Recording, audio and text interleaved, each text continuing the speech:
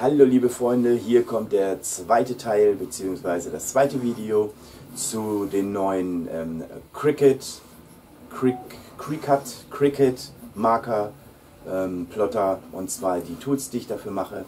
Ähm, heute kommen wir, oder jetzt in dem Video kommen wir zu diesem Tool. Wie gesagt, die Farbe ist zweitrangig, das ist alles ein Prototypen. Das ist das Graviermesser. Damit habt ihr die Möglichkeit, mit eurem Marker tatsächlich auch gravieren zu können. So, hier vorne habe ich gerade nicht da, deswegen ist es schwierig, euch das zu, zu zeigen. Ähm, kommt das Messer rein.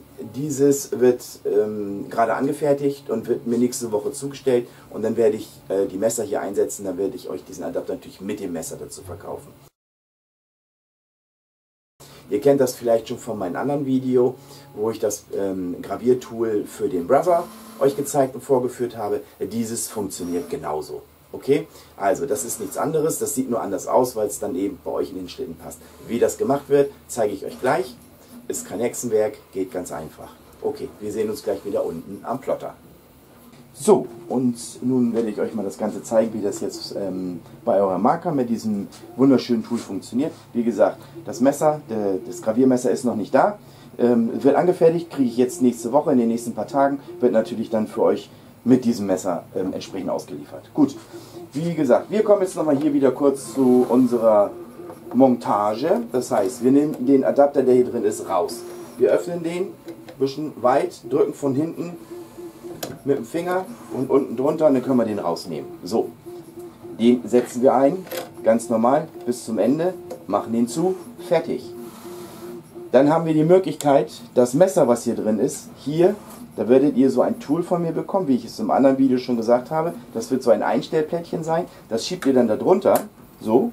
Und dann habt ihr die Möglichkeit, das Messer ähm, so einzustellen und dann festzuschrauben. Das heißt, wenn das lose drin ist, dann könnt ihr hier mit der Schraube, die da drin ist, ein Imbus liegt dabei, habt ihr Möglichkeit dann den richtigen Abstand einzustellen. So solltet ihr das dann auch lassen und dann die Schraube festziehen und dann passt das. So, also das ist von mir erstmal voreingestellt. Ob das dann immer bei euch perfekt passt, das müsst ihr dann im Einzelnen nochmal rausfinden. Ist aber auch nicht so schwer. Okay? Das kriegt ihr schon hin. Ähm, ja, ansonsten gibt es zu dem Tool gar nicht so viel zu sagen. Das ist ein eigenständiges Tool. Das ist auch ganz simpel und einfach gemacht. Damit könnt ihr auf jeden Fall gravieren.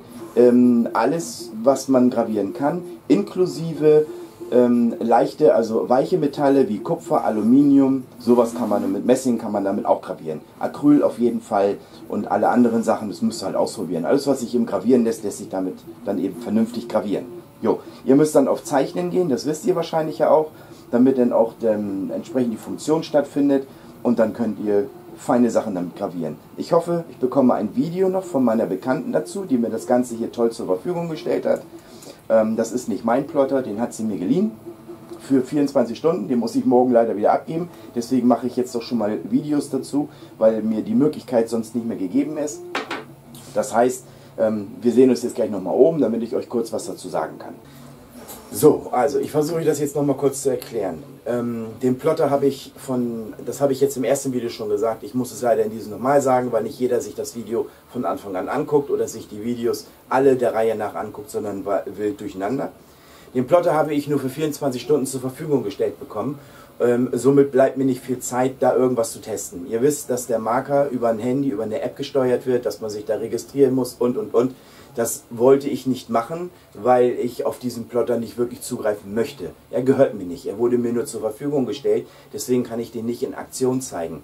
Mit ein bisschen Glück wird in diesem Video ähm, ein kurzes Funktionsvideo noch reingeschnitten. Das weiß ich jetzt im Augenblick aber noch nicht. Das weiß ich erst in den nächsten Tagen. Und dann ist dieses Video bereits von mir jetzt gemacht, weil ich den Plotter morgen wieder abgeben muss.